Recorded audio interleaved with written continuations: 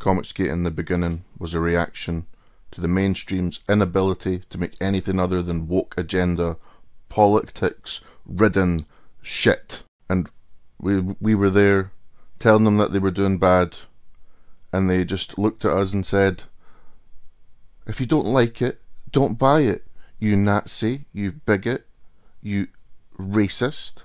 And we said, Right, we're not going to buy it, so we're going to go make our own shit.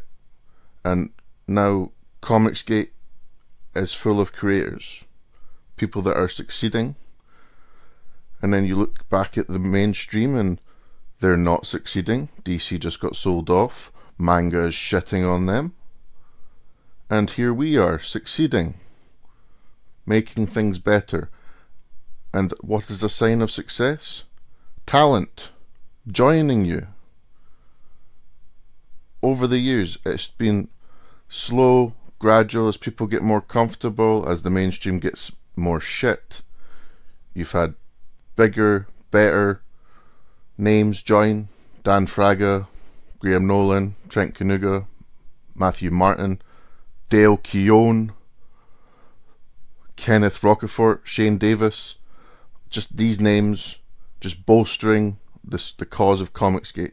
And you just you just see the failures of the mainstream and it's just like these people should be making your comics but now they're making their own making more money and you're failing.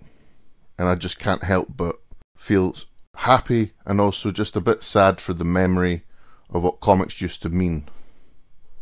But now they mean comicsgate and also alterna comics are also great with, peter Simeti, who's friendly with us so you know that's good. But everyone else is going to have to wise up or fall off because Comicsgate is here to stay and just get bigger and better. But there are still pros who are offered the opportunity to work with Comicsgate and they turn it down because of lies.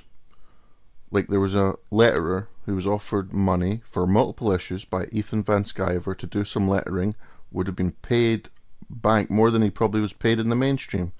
And the guy went, It's not worth being paid Comicsgate money they're they're that they're this. You mate, you're delusional. We're here making comics. We're here making fun of you. You could have succeeded, but you're just sitting there in your own failure for woke points.